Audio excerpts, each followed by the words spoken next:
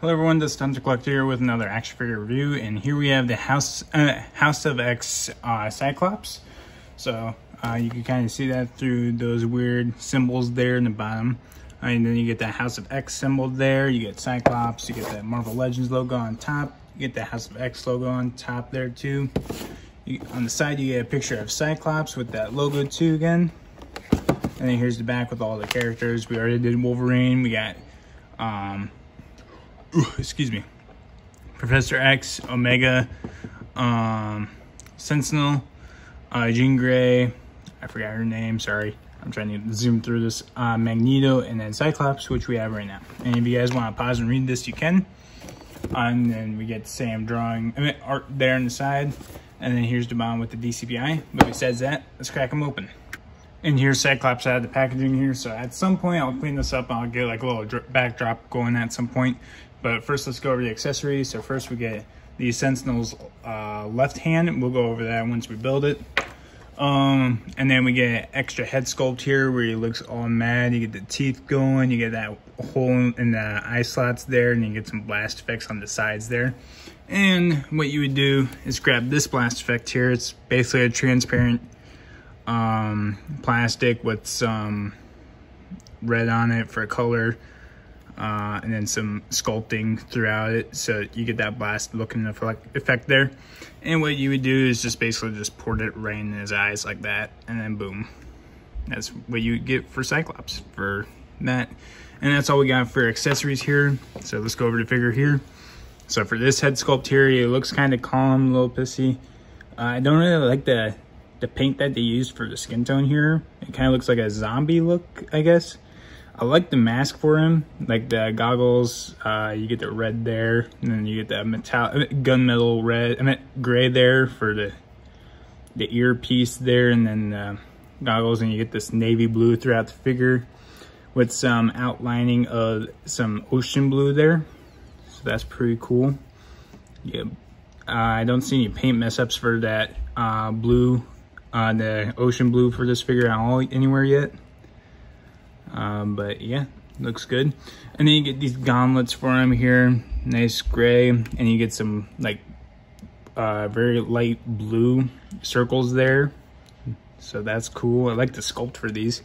And you get a fist of hand, and then you get uh, this one hand where he's doing the two fingers, and you just do this if he's when he's about to like use his eyes for lasers yeah, and you get this belt buckle here. I mean, uh, utility belt here with the X uh, X-Men symbol there. That's gray and then red on the inside. Uh, I like the detailing on this actually. You get that gray there for the buckle pieces and you get the gray buttons for the pouches. That's pretty cool. So they went into detail with this figure. Yeah, you get the blue lines there. Um, but besides that, the only thing cool about it, I, I, think, is the utility belt, the gauntlets, the eyepiece, and then like the blue lines.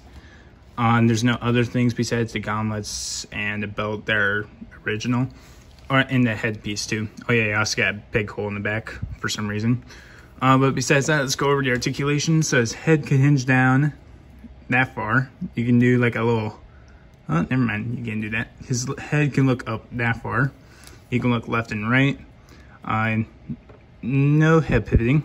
His shoulders can move out that far. 360 rotation around his shoulder, bicep swivel, double jointed elbows go a little past 90 degrees there. His wrists can hinge down that far, up that far, 360 rotation there. He has an ab crunch so he can go forward that far, backwards, barely any, like none. That's him standing straight up and that's him going backwards, barely any. Uh, his He has a waist swivel Get that goes at 360 degrees there. His legs to kick out actually really far to the side there. That's really good. Forward, decent amount. Backwards, more than normal. Um, he has a thigh cut, double jointed knees. Uh, you get the pins in there. Pinless joints on the elbows though, but you get the pins on the knees there. Uh, he has a shin cut there, and then his ankles can hinge down that far up that far and nice ankle pivots. And here's Cyclops with this headpiece here on there too with blasting effects. Um, but yeah, I think this is a pretty cool figure. Come, it, the articulation's decent. I think they could have done a lot better with the ab crunch piece or going backwards. Going forward, it's pretty good. They did a really good job on the flexibility side of it for the legs going out that far. That's really good. So they improved on that. Um, so I think they came with the right amount of accessories. I think they could have given us like an extra hand here uh, instead of just this piece on there all the time. But I think you could switch out hands if you want. Not big, of, not that big of a deal. Um, but yeah, I think this is a pretty cool figure. I like it a lot. Um, but um, if and that's all I got on this figure. So if you guys could check out my Twitch, it's the Hunter Collector. I'm trying to get 50 followers. I'm at 24 25 right now. Um, and yeah, uh, but besides that, uh, that's all I've got for this figure.